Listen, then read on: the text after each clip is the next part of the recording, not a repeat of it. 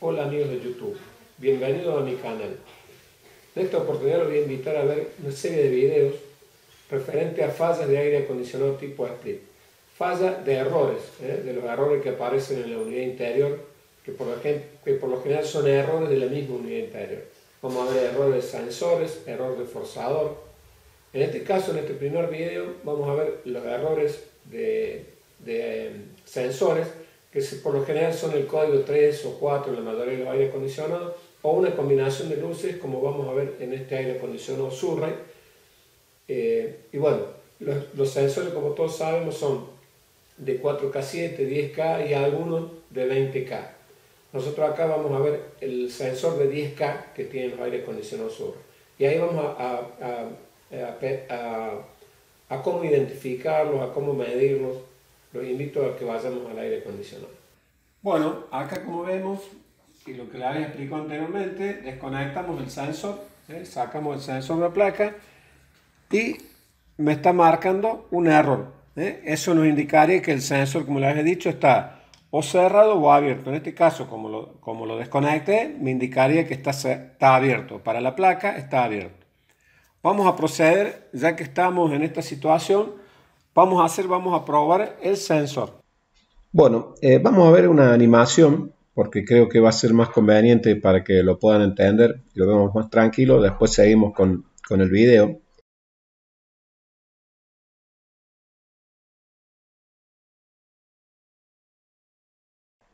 Procedimiento para medir el sensor. Vamos a, vamos a hacer un procedimiento. Como ya habíamos dicho, lo primero que tenemos que hacer es desconectar el sensor y eh, pelar los dos cablecitos del sensor, ahí como vemos en la imagen, y conectar dos pinzas cocodrilos eh, con dos cablecitos que vamos a ir conectado directamente al, al, multímetro. Entonces ahí vemos, eh, ahí vemos cómo sería el procedimiento. Y en el multímetro nos va a dar una medición, una medición en el multímetro que en este caso nos dice que tenemos 13 0.54 kilo ohm, que serían 13.540 ohm. A ese valor, eh, ese sería el valor en este, en este caso, ¿no es cierto? Que para, una para un valor de estos en, en ohm, en, en, ohm o kilo ohm, eh, como lo queremos expresar, va a tener un valor en temperatura, que en este caso va a, ser, va a corresponder a 18,5 grados centígrados, es decir, que la temperatura con el equipo parado eh, vamos a tener 18,5 grados según las medidas en el que eh, dice el sensor ¿eh? y en la tabla.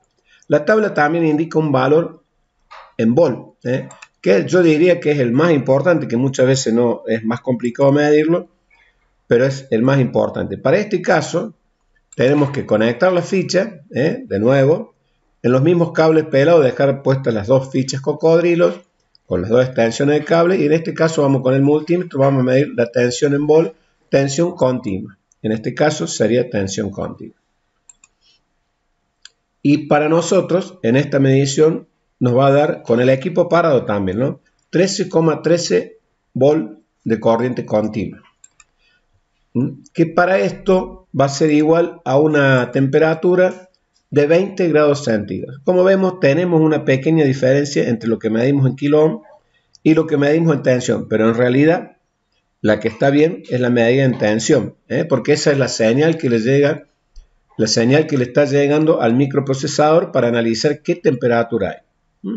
¿Qué, ¿A qué le podemos llamar esta diferencia? Bueno, puede ser una diferencia en el termistor, una diferencia en la señal, en los cables, una pequeña diferencia que no, no, sería importante hasta este punto.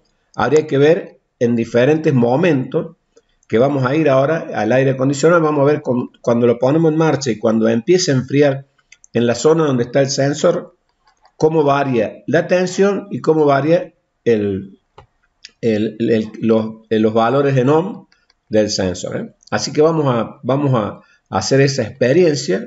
Eso va a ser muy dinámico porque va cambiando de temperatura continuamente hasta que se va a, estacionar en la mínima temperatura, ¿eh? que en este caso podríamos llegar a 2, a 2 grados ¿eh? en, el, en, el, sensor vamos a, trabajar sobre el sensor de tubería, ¿eh? porque ese nos permite, es, es, más dinámico, es decir, tiene variaciones más rápidas y bueno, si queremos trabajar sobre el sensor de ambiente, bueno, también lo podemos, pero la variación va a ser de 4 o 5 grados al sumo y tenemos que estar en pleno verano, cosa que ahora no estamos, para poder lograr ahí una, una, diferencia más grande.